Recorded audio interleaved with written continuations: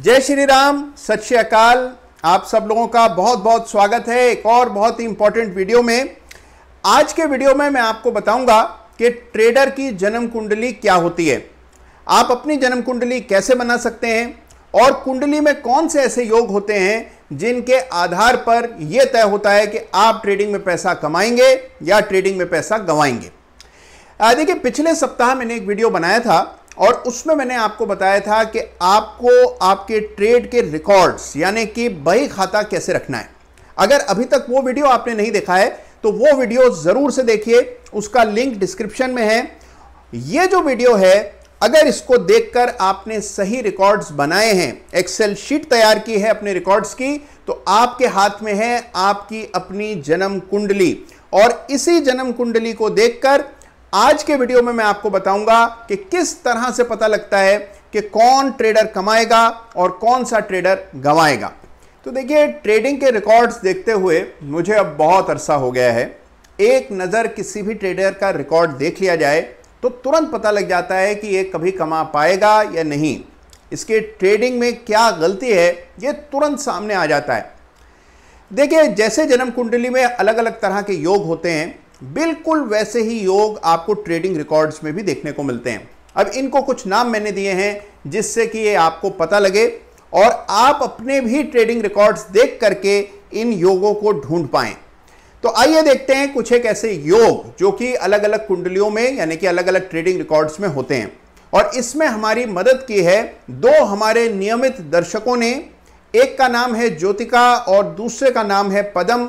जिन्होंने हमें अपने ट्रेडिंग रिकॉर्ड्स भेजे, मैंने दोनों के ट्रेडिंग रिकॉर्ड्स का आकलन किया और उनमें जो योग छुपे हुए हैं, वो मैं अब आपके सामने रखने जा रहा हूँ। तो देखिए, ये ज्योतिका जी का ट्रेडिंग रिकॉर्ड, यानी कि उनका बही खाता है। जैसे आप देख पा रहे हैं कि बिल्कुल कायदे से उन्होंने बही खाता बनाया है, सारे इसमें कॉलम्स भी हैं और एंट्रीज भी उन्होंने बाकायदा की हैं। नीचे अगर आप देखते हैं तो 12 एंट्रीज यानी कि 12 ट्रेड्स में से मात्र चार ट्रेड में ही उनको मुनाफा हुआ है। आठ ट्रेड्स में नुकसान देना पड़ा। और इससे इनके कुंडली में, यानी कि इनके इस बही खाते में एक योग बन गया, जिसका नाम मैंने रखा है सहस्त्र बाण योग। यानी कि अंग्रेज़ी में कहें तो death by a thousand cuts इतनी दर्दनाक स्थिति होती है ये, जिसमें लगातार आपको स्टॉप लॉस देते रहना पड़ता है और फ़ायदे के सौदे कभी कभार ही देखने को मिलते हैं। ऐसा ट्रेडर बहुत समय तक ट्रेड नहीं कर पाता है और उसकी पूंजी नष्ट हो जाती है और उसका मनोबल भी चकनाचूर हो जाता है। देखिए, अब आपको क्या करना चाहिए? इस योग का उपाय क्या है कि आपको सबसे पहले ट्रेडिंग सीखनी चाहिए। आपको टेक्निकल एनालिसिस आना चाहिए, कोई सिस्टम का इस्तेमाल करना चाहिए, तभी आप इस योग से उबर पाएँगे। तो आइए देखते हैं पदम जी के ट्रेडिंग रिकॉर्ड्स यानी कि उनका बही खाता। अब उन्होंने भी देखिए, बहुत कमाल के बही खाते रखे हैं। और वाह वाह, अगर आप उनका स्ट्राइक रेट देखेंगे तो दंग रह जाएँगे।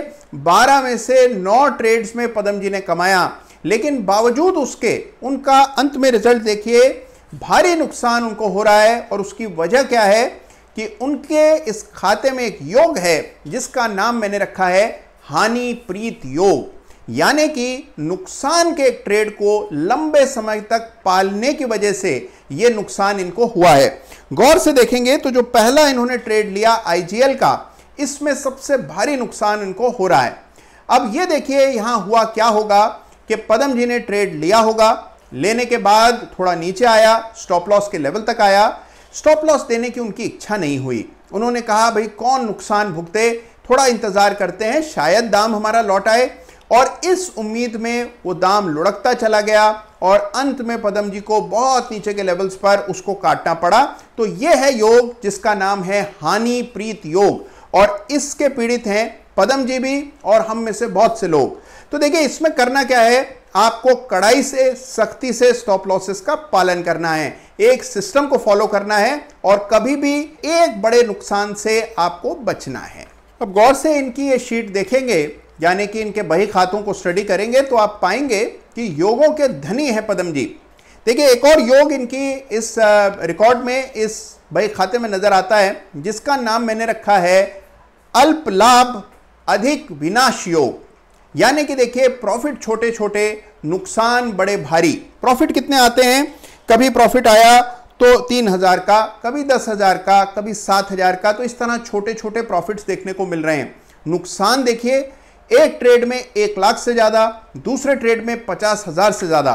तो ये जो बड़े बड़े लॉसेस हैं, इसी की वजह से अंत में पदम जी को नुकसान हुआ। तो ये योग हुआ कि अल्प लाभ और अधिक विनाश। तो इस योग से बचने का तरीका कि प्रॉफिट और रिस्क के बीच में एक तालमेल होना चाहिए, जिसको हम कहते हैं रिस्क रिवॉर्ड रेशो जब तक ये रिस्क रिवॉर्ड रेशो बराबर नहीं होगा आप कितने भी अच्छे ट्रेडर हों, आप पैसा नहीं कमा पाएँगे। देखिए, एक योग और है जो कि ज्योतिका जी और पदम जी दोनों के ही रिकॉर्ड्स में मुझे देखने को मिल रहा है। और इस योग का नाम मैंने रखा है अकारण व्यापार योग। अकारण व्यापार योग यानी कि बिना किसी ठोस वजह के ऐसे ही भाग्य आजमाइश में आप ट्रेड ले लेते हैं। देखिए, आप और मैं कभी शर्ट लेने जाते हैं तो सेल्समैन से कितने सवाल करते हैं। शर्ट पहनने के बाद उससे पूछते हैं, भाई हम पर जच रही है या नहीं जचती है? इसमें कोई और साइज़ है, कोई और कलर है? जबकि शर्ट कितने की आती है। उसके बावजूद भी इतना सवाल जवाब हम लोग करते हैं। शेयर खरीदते समय बिल्कुल सोच विचार के लिए समय नहीं होता हमारे पास। अब देखिए, इनके जो रैशनेल हैं, यानी कि जो कारण लिखे हुए हैं, ज्योतिका जी ने और पदम जी ने, ये देखेंगे तो आप खुद ही हंस पड़ेंगे। कोई वजह ही नहीं है। कई बार कितने सारे ट्रेड्स में बिना किसी कारण के इन्होंने खरीद फरोख की, नतीजतन बड़ा नुकसान इनको हो गया। तो देखिए, अगर कारण के बिना आप खरीदेंगे तो नुकसान होना तय बात है और आपकी कुंडली में एक योग आ जाएगा, जिसका नाम मैंने रखा है अकारण व्यापार योग। तो देखिए, एक और योग है जो कि बहुत सारे ट्रेडर्स के बही खाते में मुझे देखने को मिलता है। लगभग सभी लोग ये गलतियाँ करते हैं। और ये जो गलती है, इसका नाम है मात्रा कुमात्रा योग। यानी कि आप प्रॉफिट वाले सौदों में क्वांटिटी छोटी रखते हैं, नुकसान वाले सौदों में भाग्यवश आपकी क्वांटिटीज बड़ी बड़ी होती हैं।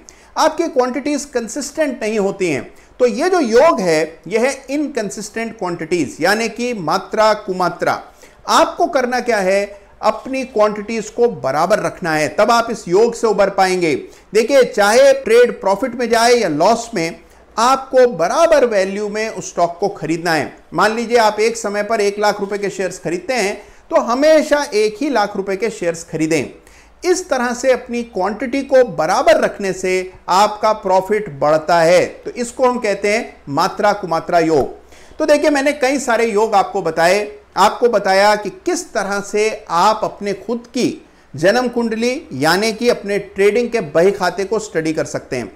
तो मैं उम्मीद कर रहा हूँ कि आप सब अपने ट्रेडिंग रिकॉर्ड्स यानी कि अपने बही खातों को अच्छी तरह जांचेंगे और देखेंगे कि कहीं आपके बही खातों में ये पाँच योग तो नहीं है। ये पाँच बंटाधार योग में से अगर कोई भी योग आपके बही खाते में है तो फिर आपके लिए बड़ी समस्या है और उसका निवारण करना बहुत ज़रूरी है।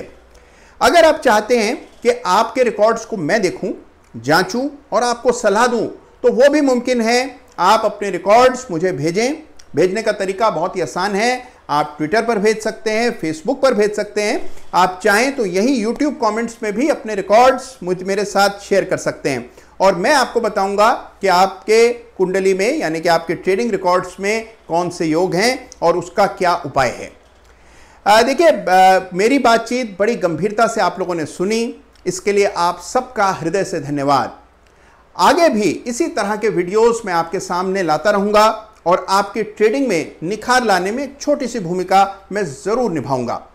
तो धन्यवाद आप सबका। जाने से पहले हमेशा की तरह एक विनती है कि इस चैनल को ज़रूर सब्सक्राइब करें और यह वीडियो पसंद आया हो तो लाइक करें।